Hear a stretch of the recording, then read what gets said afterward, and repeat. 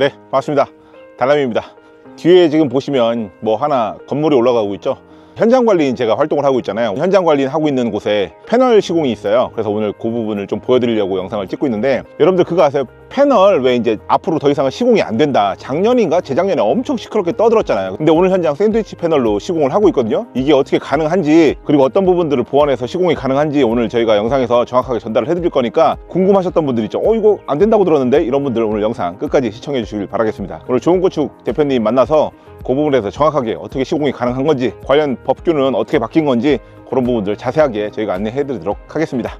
가시죠 뭐 물류센터 화재 뭐 이런 것들이 많아서 복합자재에 대한 주무련 등급 이상만 쓸 수 있게끔 2022년 뭐 2월 달에 그 시행령이 났고 그리고 2022년 11월 정도부터 그 법이 개정안이 생긴 거죠. 네. 그래서 뭐 한동안 아예 PS 샌드위치 패널에 대한 시공이 불가하다가 어 2023년 5월 달 협회 측에서 공동으로 주무련 등급에 대한 인증을 받았어요. 그리고 2024년 현재는 각 개별 업체별로 다 주무련 그 등급에 대한 시험 성적이 나와야지만이 그 자재를 쓸 수 있게끔 되어 있습니다. 그래서 그 주무련 등급에 대한 인증을 받은 자재를 가지고 현재는 주택이나 상가 다 지을 수 있습니다. 어, 그러면 준부련 승인만 나면은 다 그냥 옛날처럼 똑같이 지을 수 있는 건가요? 아, 똑같이는 아니고요. 일단 그 EPS 패널에 대한 주무련 등급이 나와야 되고 그리고 3m마다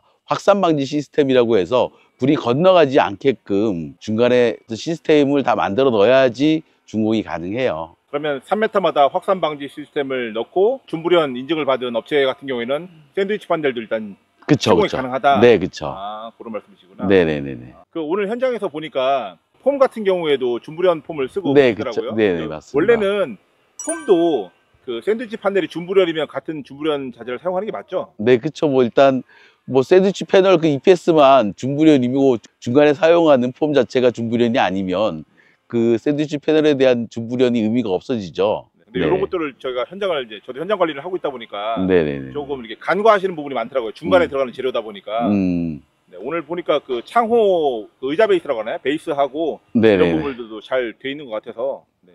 창호 같은 경우에는 저렇게 베이스를 보니까 큰 창 같은 경우는 제가 본 적인데 여기 같은 경우에는 현장은 창호를 작은 것도 다 베이스를 다 짜놨네요. 음, 뭐 짜면 그러니까 좋은 게 있나요? 어, 일반적으로 샌드위치 패널 주택을 지을 때 사실 시스템 창호를 잘 사용 안 하죠. 시스템 창호를 사용하다 보니까 네, 일단 무게가 더 나가는 것들도 있고 또 외부로 돌출이 안 되는 부분들이 있어서 다 하지 작업을 해서 그 위에 창호를 시공하고 있습니다. 아, 그럼 이제 시스템 창호가 아니거나 다른 것들은 굳이 저렇게까지는 또 비용을 들여서 하진 않아도 되는구나. 네, 그렇죠. 그리고 뭐 큰 창호일 경우 우리 패티오 창호나 뭐 한 3천에 넘어가는 이런 창호들은 다 필요하지만 작은 창호에는 일반 이중 창호 이런 것들은 굳이 필요하지는 않습니다. 그런 것들은 그럼 대표님이 그 상황에 맞게끔 그 건축주들한테 설명을 해드리고 작업을 하시는 거죠? 네, 그렇죠, 그렇죠. 제가 사실은 저- 저희 집도 판넬집이었지만 각 치는 거에 되게 민감하거든요. 제가 근데 음, 역시 여기 현장에서 보니까 각치기를 다 잘 하고 있더라고요. 근데 제가 어제도 발견을 했거든요. 각치기 안 하고 집 짓는 업체들을 발견했는데 각치기 하는 거에 대해서 어떻게 생각하세요? 뭐 판넬 주택에서는 필수적이라고 생각을 해요. 일단 그 양쪽으로 철판이 되어 있으니까 철은 열 전도율이 굉장히 높잖아요.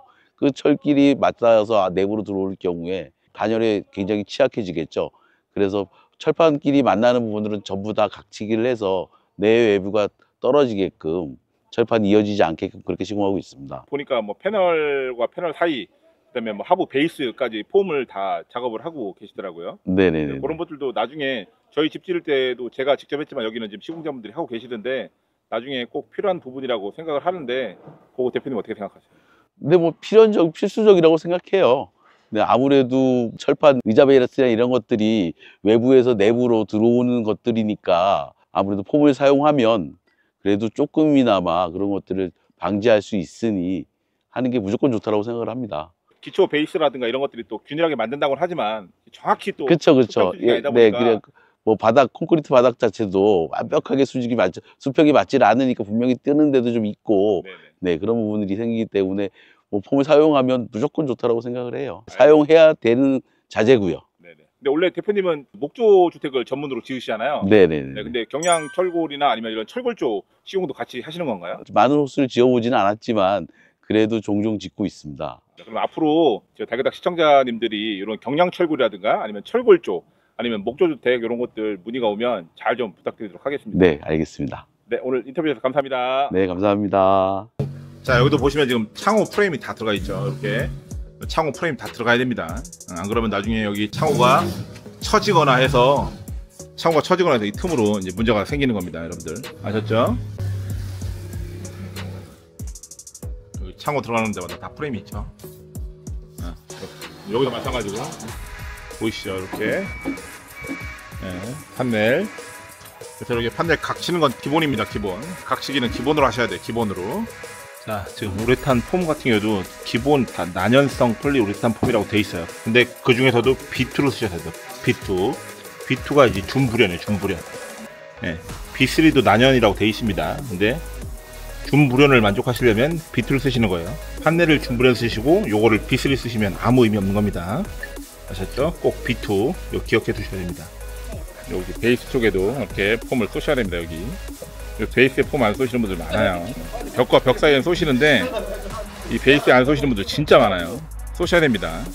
자, 여러분들 여기 이제 확산 방지 플레이트라고 해서 이렇게 3m마다 사이사이에 끼워야 된답니다. 근데 이제 문제는 이걸 끼우게 되면 열교 포인트가 만들어진다는 거예요. 열교 포인트가. 다행히 여기 같은 경우는 안에 이제 네 단열을 또 합니다. 여기 안에 H빔이다 보니까 공간이 많아서 이만큼 내장을 또 해요. 그래서 상관없는데 각관으로 짓는 1층짜리 판넬집들은 요 열교 포인트를 해결해야 됩니다. 근데 이게 법이라서 안 나올 수는 없다고 하거든요. 네, 오늘 이렇게 저희 현장 관리인 제가 활동하는 곳에 와서 여러분들한테 간단하게 좀 대표님 인터뷰도 하고 좀 중요한 포인트를 설명을 드렸는데요. 여러분들이 집을 지으실 때 뭐 창호라든가 기타 이런 어떤 재료에만 너무 집중을 하시는 것 같은데 시공을 하실 때 어떤 디테일 시공 현장에서 이루어지는 디테일 시공들 있잖아요. 뭐 폼이라든가 각치기라든가 이런 것들은 근데 견적서에 넣기가 좀 애매한 것들 있잖아요. 그렇잖아요. 근데 그런 것들을 여러분들이 현장에서 잘 챙겨야지만 정말로 따뜻하고 안전한 집을 지으실 수가 있습니다. 그래서 앞으로도 제가 현장 관리를 활동하면서 이런 것들 여러분들한테 많이 많이 소식을 좀 전해드리도록 하겠습니다. 그리고 경기권이나 이런 쪽에서 그 건축을 진행하실 분들이 있으시다면 제가 건축 코디네이터, 그러니까 상담이죠. 사전 상담도 진행하고 있으니까 다 결정하지 마시고 사전에 결정하시기 전에 조금 문의를 주셔서 이런 것들을 좀 협의하면 좋은 방향으로 갈 수 있지 않을까 그렇게 생각을 했습니다. 그래서 경량철골이든 아니면 철골조든 이렇게 패널로 여전히 건축이 잘 가능하니까 여러분들 혹시나 그것 때문에 조금 망설였던 분들은 법 시행령이 조금 타이트해지긴 했지만 여전히 건축이 가능하니까 여러분들 앞으로 그 주택을 지으실 때 이 부분 생각하셔서 진행을 하셨으면 좋겠습니다. 네, 감사합니다.